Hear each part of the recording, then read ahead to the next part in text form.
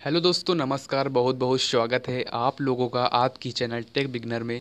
मेरा नाम है स्वदेश। तो गाइज़ आज मैं जो वीडियो शूट कर रहा हूँ, अपने जो ईयरफोन्स है, उनसे शूट कर रहा हूँ और मैं इसको कंपेयर करूँगा इस बोया माइक से। आप में से क्या होता है, बहुत सारे जो नए क्रिएटर्स आते हैं तो सोचते हैं कि माइक ले लूँ, वो बोया माइक बहुत अच्छा है।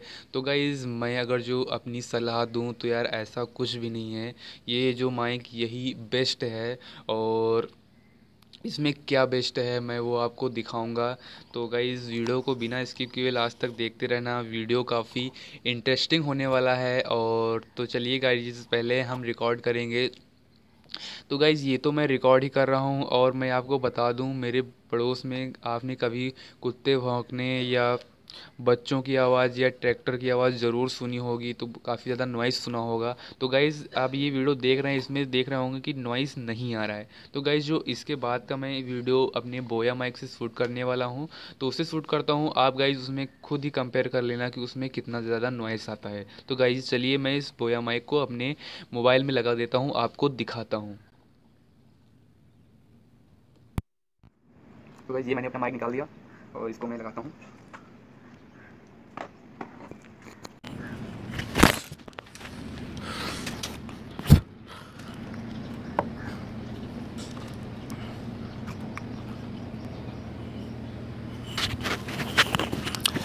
तो गाइज़ ये देखिए, आपको इसमें बहुत सारे नॉइज़ सुनाई दे रहे होंगे, बहुत सारी आवाज़ें सुनाई दे रही होंगी तो मैं चलिए अपनी आवाज़ थोड़ी देर चुप रहता हूँ, आपको दिखाता हूँ।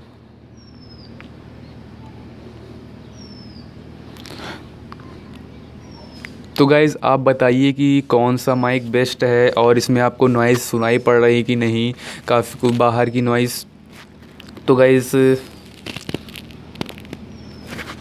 तो गाइज़ सुन सकते हैं कि आपको आवाज़ आ रही होगी हल्की हल्की। आप अपने ईयरफोन लगाएँगे तो गाइज़ वो आपको आवाज़ को नॉइज़ ज़रूर सुनाई पड़ेगा। तो गाइज़ यही था आज का वीडियो और तो गाइज़ मैंने वीडियो बनाने का मकसद यही था कि यार, जो मैंने पैसे बर्बाद किए, आप ऐसे मत बर्बाद करो। आपको बहुत सारे ऐसे अमेज़ोन पे माइक मिल जाएँगे। सौ, डेढ़ सौ, दो सौ रुपये की वो काफ़ी ज़्यादा अच्छे माइक होते हैं और उनमें बैटरी भी नहीं पड़ती। इसमें गाइज़ तो बैटरी भी पड़ती है। हाँ इसमें आप इसे डीएसएलआर से भी कनेक्ट कर सकते हैं, ये खासियत है। तो गाइज़ आप में से जो मिडिल क्लास के क्रिएटर्स हैं, जिनके पास इतने पैसे नहीं, उनके पास तो डीएसएलआर होगा ही नहीं, अगर जो माइक नहीं कर सकते थे। तो मुमकिन है उनके पास संभव है डीएसएलआर भी नहीं होगा। तो गाइज़ आप क्या करिए, इसमें से बहुत सारे अमेज़ोन पे मैं ख़रीदने वाला हूँ माइक उसका रिव्यू दूँगा और मैं उसको दिखाऊँगा कि इस माइक से वो कितना बेस्ट है। तो गाइज़ बस ये पॉपुलर है और इसमें गाइज़ एक चीज़ क्या है कि अगर जो आप, आपकी आवाज़ काफ़ी ज़्यादा तेज़ सुनाई पड़ती, यही चीज़ हमें अच्छी लगती है। तो गाइज़ कहने को है कि ये जो माइक है, केवल एक या एक मीटर के अराउंड जो आपकी आवाज़ है, वो कवर करता है, जितना भी हो। तो गाइज़ ये क्या, ये कहाँ, मेरे हिसाब से एक किलोमीटर की भी आवाज़ कवर कर लेगा, एक किलोमीटर नहीं, ये तो पंद्रह बीस कदम की आवाज़ कवर कर लेगा, जैसा देख रहे हैं, कुत्ते भौंक रहे हैं, भाई, सब सुनाई पड़ रहा था। पर वो उस माइक से रिकॉर्ड कर रहा था, ना के बराबर उसमें सुनाई पड़ रहा था जो मेरे ईयरफोन्स हैं। तो गाइज़ आप देख सकते हैं कितने सारे कुत्ते भौंक रहे हैं। तो गाइज़ आप में से बहुत सारे लोग जो क्रिएटर्स नए नए यूट्यूब पे आए हैं, वो सोच रहे हैं बोया माइक लेने का और मैं सोच रहा हूँ इसे एक्सचेंज करने का। चाहता हूँ अगर जो आपके पास सौ, डेढ़ सौ रुपये भी हैं तो इससे अच्छा आपको माइक मिल जाएगा। इसे आप लेने की कोई ज़रूरत नहीं इतना अच्छा बेस्ट नहीं है। तो यार, मैं इसको बहुत टाइम से यूज़ कर रहा हूँ और मैं जब पहले उससे वीडियो शूट करता था ईयरफोन से तो मेरी आवाज़ काफ़ी स्लो आती थी। वो ईयरफोन्स गाइस कुछ गड़बड़ थे। मैं जो ईयरफोन्स में रिकॉर्ड किया, वो वीवो के ईयरफोन्स हैं जो उसके बॉक्स में आते हैं फ़ोन के साथ। तो गाइज़ मुझे भी बहुत शौक़ चढ़ा था बोया माइक लेने का, पर मैंने ले ली मेरे पास पैसे थे गाइज़ अगर जो मैं, अगर जो पहले मैंने मुझे मालूम होता कि ऐसा माइक है तो गाइज़ मैं ये माइक नहीं लेता और काफ़ी अच्छे पैसे पैसे बच जाते, उनका मैं कुछ और भी यूज़ कर लेता ग्रीन स्क्रीन ले लेता।